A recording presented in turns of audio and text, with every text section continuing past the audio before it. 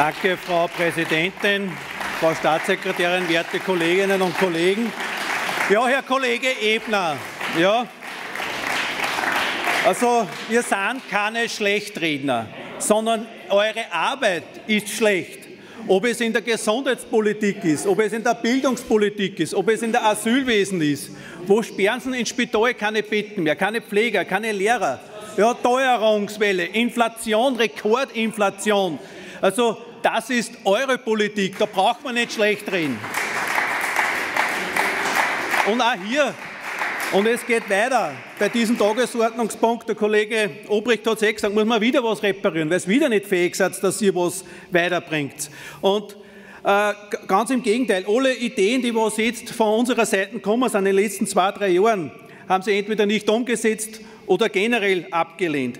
Das Ergebnis ist leider Gottes, ja, Gott sei Dank, Herr Kollege, das, wo wir jetzt sind in der Situation, da seid ihr verantwortlich. Ja? Jeder Österreicher spürt das in seiner Geldtaschen. Und ihr sagt, ja, ja, es gibt eh keine Problematiken, es gibt eh keine, die was wirklich an der Armut ist. Und er nickt nur, ja, wir haben eine Inflation gehabt über 11 Prozent. Wir haben immer noch Inflation über 6 Prozent. Und das spürt ein jeder.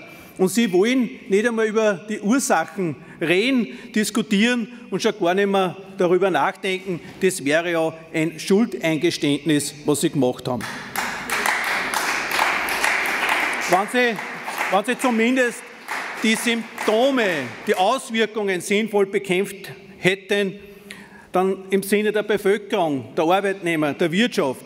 Na, auch das haben Sie nicht gemacht. Die Bevölkerung schlittert immer mehr in die Krisen und sie machen einfach zu wenig oder sogar das Falsche, um das abzustellen. Und ganz im Gegenteil, ja, da ist ja die ÖVP auch dabei. Die CO2-Abgabe, ihr bestärkt es, unterstützt es noch, den größten, einer der größten Fehler, da was ihr gemacht habt. Geschätzte Damen und Herren, es wurde schon sehr viel kritisiert, man kann das wiederholen und unendlich machen. Ich habe sehr viele Fehler gemacht, aber es bringt keiner Familie in Österreich keinen Cent mehr, wenn wir da heraus reden. Es hilft halt nur Neuwahlen und ich hoffe, dass das so rasch wie möglich kommt. Reden wir über den heutigen Beschluss. Was bringt er wirklich? Es ist schon gesprochen worden, die 60 Euro mehr pro Monat für armutsbetroffene Kinder beschlossen worden ist. Ja, 2 Euro, eine lächerliche Summe. Das Versprechen wurde auch nicht eingehalten, dass das sofort ausbezahlt wird. Na, die, äh, ja, viele Betroffene haben es nicht bekommen. Einige haben es jetzt zumindest im September gekriegt, aber es fehlt noch sehr viel. Daher äh, und obwohl gerade diese Familien seit mehr als einem Jahr wirklich inmitten der Teuerungswelle ist, eine extreme Preisexplosion gehabt, eine Inflation es dringend benötigt hätten.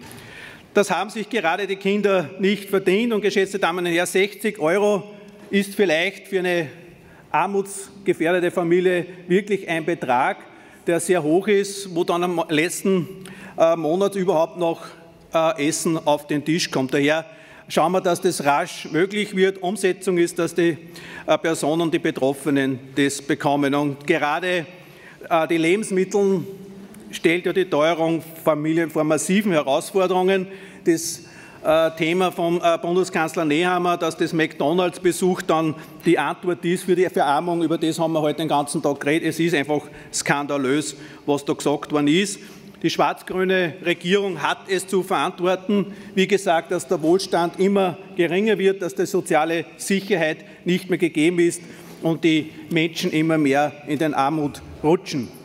Wir haben immer wieder Anträge eingebracht, die den Menschen helfen und die Inflation auch wirklich senken würden, wie eine massive Steuersenkung auf Benzin, Diesel, Strom und Gas durch Halbierung oder Abschaffung der Mehrwertsteuer Erhöhung des Pendlerpauschals und des Kilometergeldes, um Arbeitnehmer zu unterstützen, die auf ihr Auto angewiesen sind.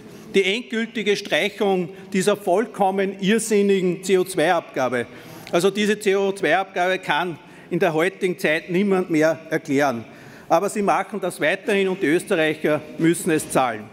Daher Es ist dringend an der Zeit, dass die Bundesregierung endlich sofort wirksame Maßnahmen zur Entlastung der Menschen auf den Weg bringt. Es muss mit allen Mitteln verhindert werden, dass Haushalte, Familien, Alleinerziehende, Pensionisten, Arbeitslose etc. mit geringen Einkommen Gefahr laufen, sich infolge enormer Teuerung das Leben nicht mehr zu leisten können. Daher stellen die unterfertigen Abgeordneten Bröller, Steiner wieder folgenden Entschließungsantrag betreffend Kostenlawine stoppen, Entlastung für Österreich.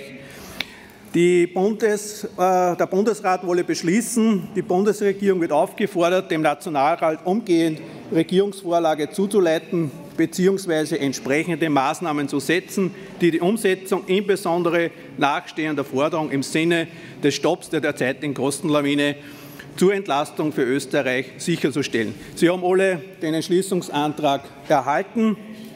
Ja, geschätzte Damen und Herren, die Bevölkerung hat genug von ihrer Politik, von dieser Regierung. Es reicht, machen Sie den Weg frei für Neuwahlen.